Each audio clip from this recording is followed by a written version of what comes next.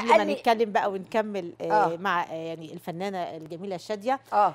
يعني هنطلع دلوقتي بقى كده لفاصل كده أو إحنا اتقابلنا أو كاميرا مصر كل يوم. اتقابلت جميل. مع مجموعة من ال- لا ده جميل المصريين. منكم بصراحة آه، جميله بنسألهم عن الفنان الجميل أحمد رحاب آه، فرحات. خلينا نشوف هيقولوا إيه.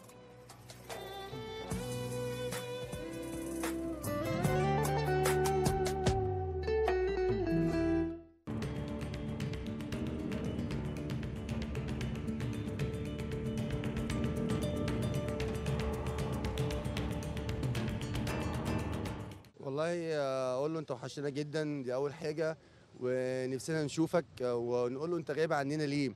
وبعدين آه، لما تيجي تسألني على الأدوار بتاعته يعني وأحلى دور والحاجات دي كلها كل الأدوار بتاعته اللي كان قدمها طبعا أدوار جميلة جدا وعمرها ما تتنسي في تاريخ السينما المصرية خصوصا فيلم طريقه الإخفاء وكان في كمان فيلم إشاعة حب. كان طالع مع الفنان آه، عمر الشريف آه، فنانة الجميله هند رستم. فبنقول له يا ريت آه، تقول لنا أخبارك إيه ويا ريت كده باستمرار نشوفك ويا ريت تطمنا عليك.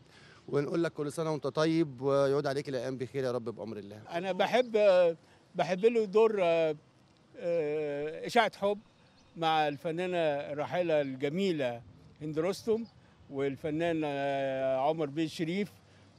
لما عمل دور أبوه وجري من الباب وراح ناطط في حضنه وبابا بابا. أنا بقول له يعني دورك حلو أنت فين؟